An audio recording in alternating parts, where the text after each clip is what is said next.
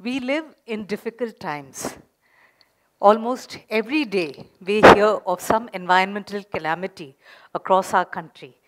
Sometimes it is the landslides in Wayanad or the floods reported across the country from so many states this year, such as Uttarakhand, Himachal, Manipur, Meghalaya. Everywhere we hear of hundreds of lives lost and thousands impacted and displaced.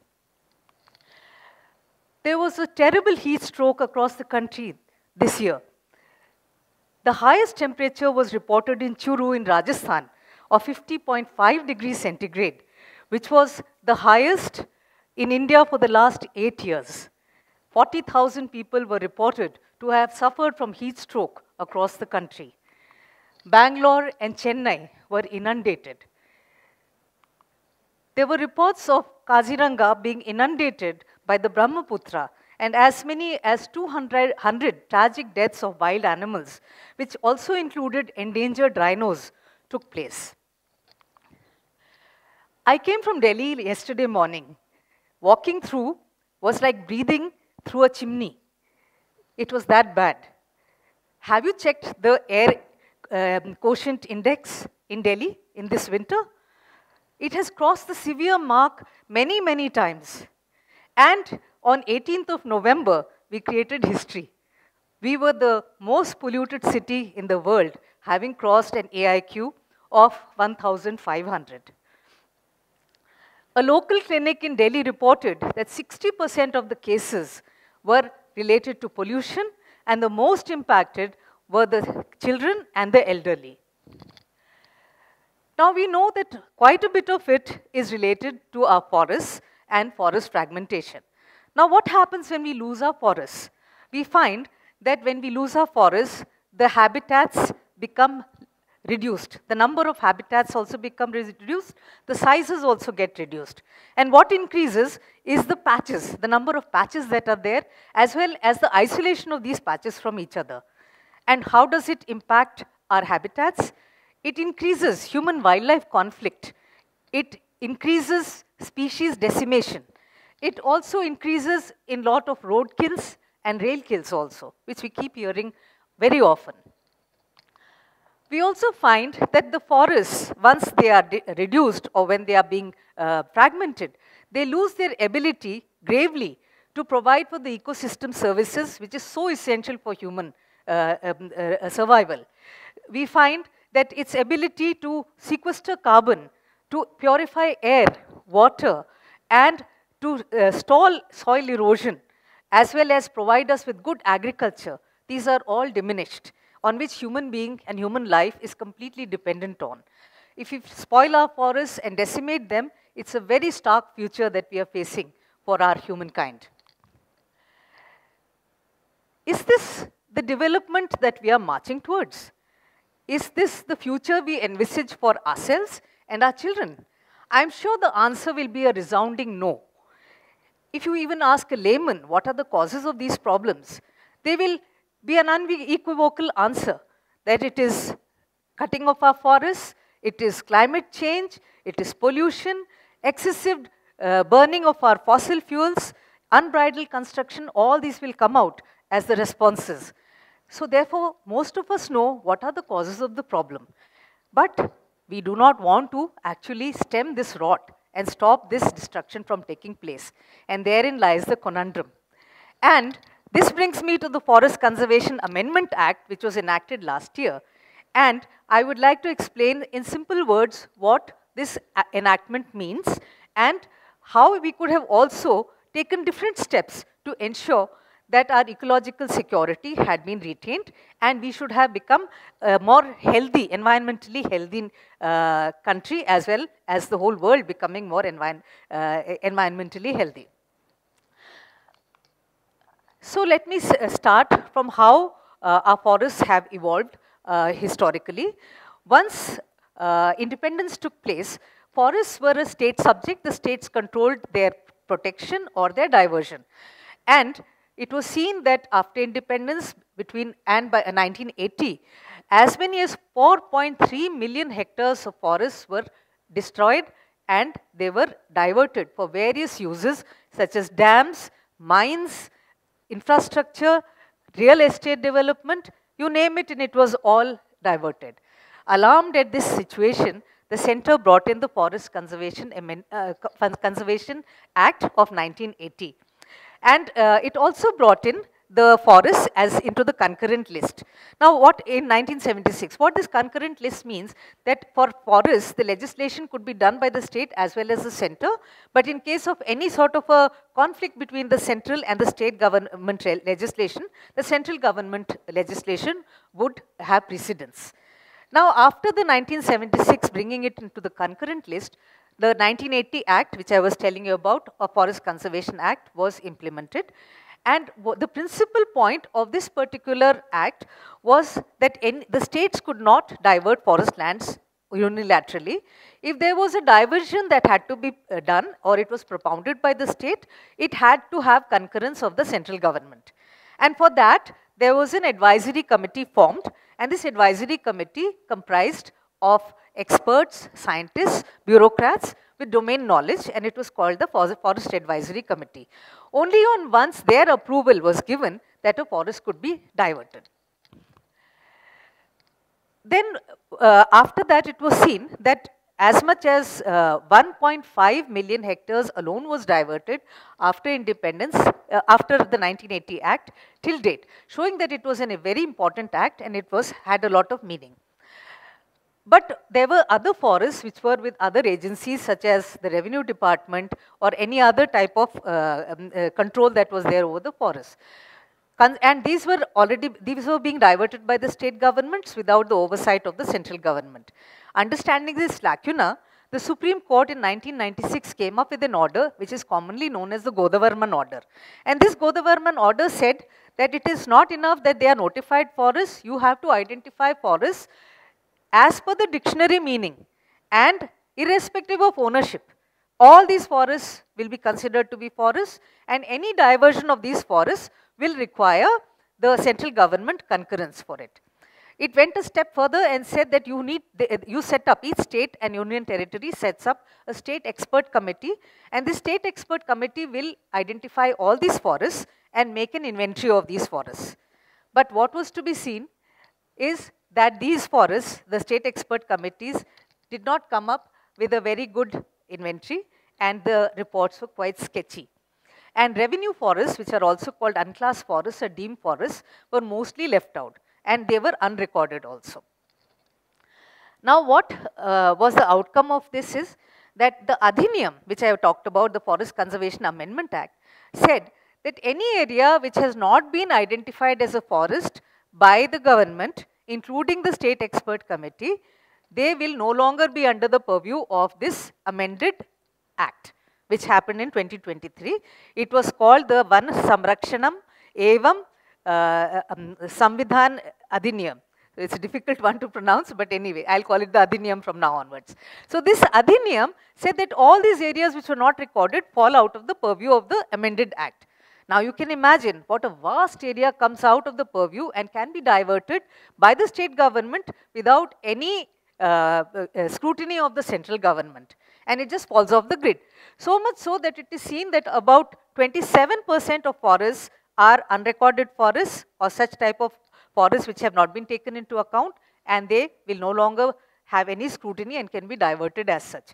It amounts to be around 1,97,000 square kilometers so you can imagine the vast area of forest that will completely fall off the grid and can be used for all diversion purposes without scrutiny.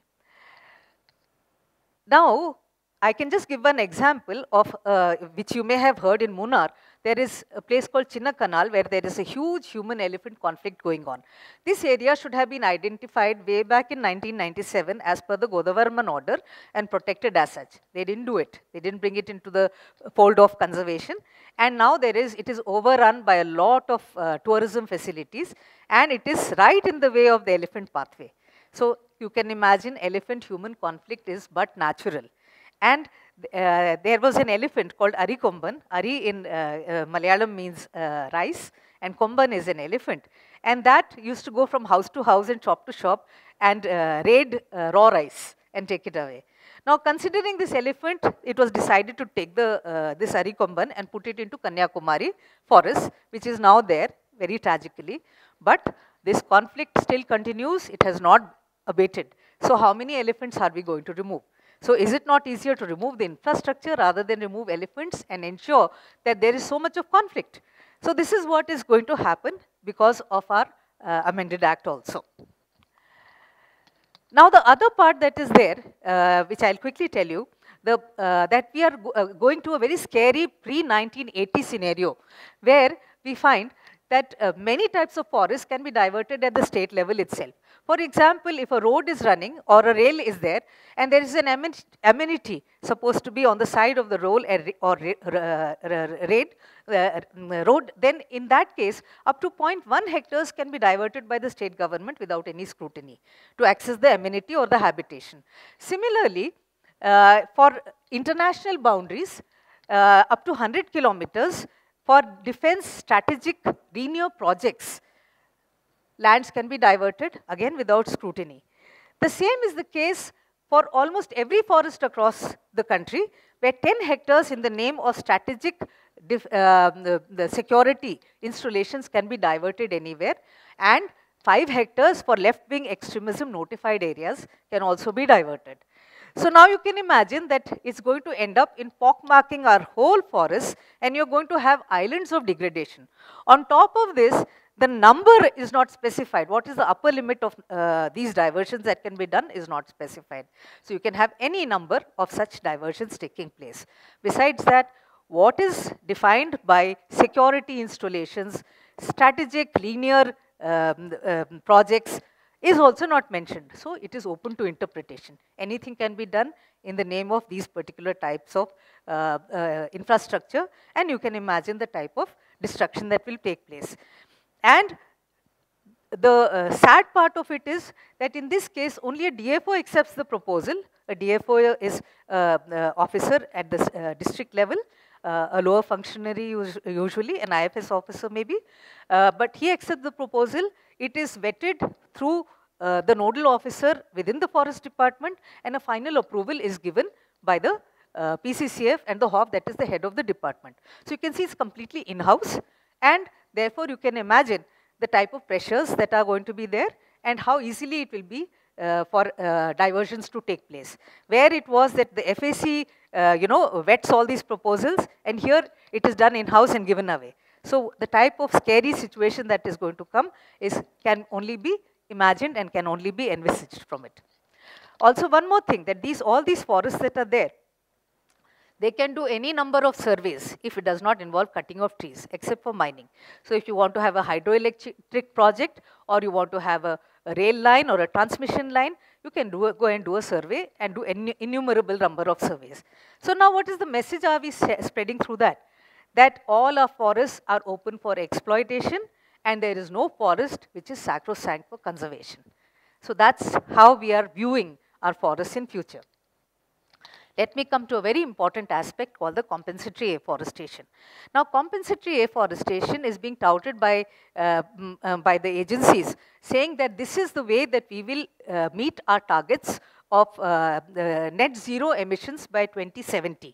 But what is it uh, actually the intricacies of it? That when you divert a forest, a natural forest for a non-forestry activity, you have to give, the user agency has to give an equal area of non-forest land which now comes into the forest bank. But what is happening is many times this particular uh, uh, uh, land for land uh, exchange is not happening and it's they are getting away with just paying money and allowing this uh, forest to be diverted. So now you can imagine slowly you will find that our forests are shrinking and one day it will dwindle to that extent that there is almost nothing left. Besides that, it is against the National Forest Policy, which envisages that 33.3% in plains and 66.6% in the hills should be retained as forests. So you can imagine all this is adding to the dwindling of our forest and our ecological security being uh, uh, lowered. And also please understand that there is no replacement for old growth forests. The ecological uh, values, the carbon sequestration, uh, the sort of pu uh, purifying of our air and water can only be done by old growth forests and plantations are not an uh, answer to it because they are usually monocultures, they are fast growing, they do not have the ecological uh, interactions with other species. They are money guzzlers and with poor uh, outcomes also. So this is what our compensatory afforestation is doing and this is what our Adhiniyam is projecting as one of the ways that we will achieve net zero emission also. So let me now come to, there are other parts of it also, I'll just say it very briefly, that this uh, allows for a lot of um, uh, uh, oil palms that can be grown, especially in the northeast, by lowering of the standards. Please do read about it. It also tries to say that the way forward is to provide employment is through creating more zoos and safaris. We know the type of waste that is created, the type of uh, degradation that happens. So this is probably not the way forward. And also it says that the rules uh, can be made by the executive itself without the oversight of the parliament. Believe me, this is draconian. If there is no oversight, then the present administration can do whatever they feel like, which can be very detrimental to conservation. So let me come to uh, what could have been done or what should have been done. And for that I will say that probably we should have followed the Godavarman order in letter and spirit, we can still do it. We have so much of technology that we can find out what our forests were like in 1996 itself. We can try to get them back, try to ensure that maximum of them go back into the, into the fold of forests, they get notified and they are protected we should reduce the amount of diversions that are taking place. In fact, we should put a moratorium on all types of diversions. Besides that, any diversion, if has, it has to be done, should be done only with the central government concurrence by the scientific advisory that is watching over these type of diversions.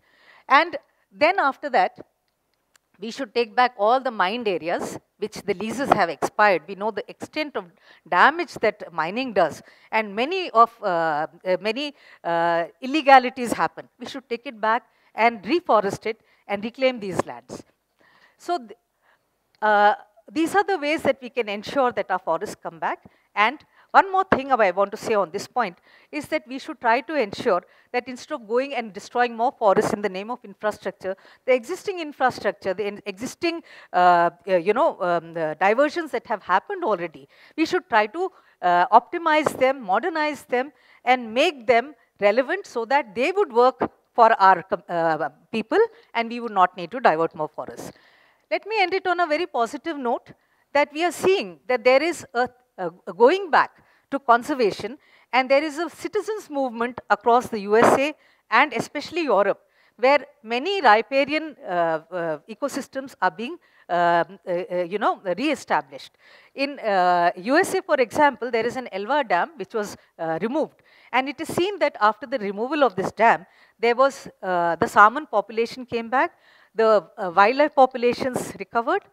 The same is in the Garden River in Denmark, it was seen that uh, after uh, restoration, the flood plains became more uh, healthy. And the same, there, there was a, a dam in France, the uh, Maison uh, Rouge Dam. After it was removed, there has been recovery of the salmon populations and other wildlife. We also have our Indian homegrown examples, startling and sparkling examples really. The tiger population increase is such a government-led program which has shown so much of recovery. The same is for uh, rhinos. It has come back from the brink of extinction. Our fal uh, Amur falcon, which is in Nagaland and, these, uh, and uh, the other northeast areas, they used to be poached so much. They have all been drastically stopped and the populations have recovered and they're coming back.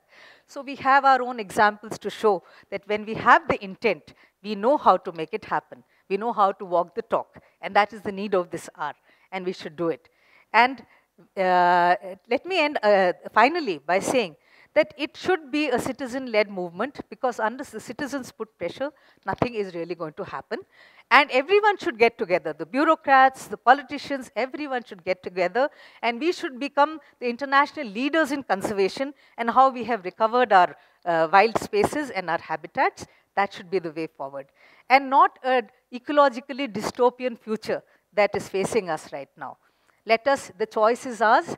We can choose hope and we can choose life. Thank you.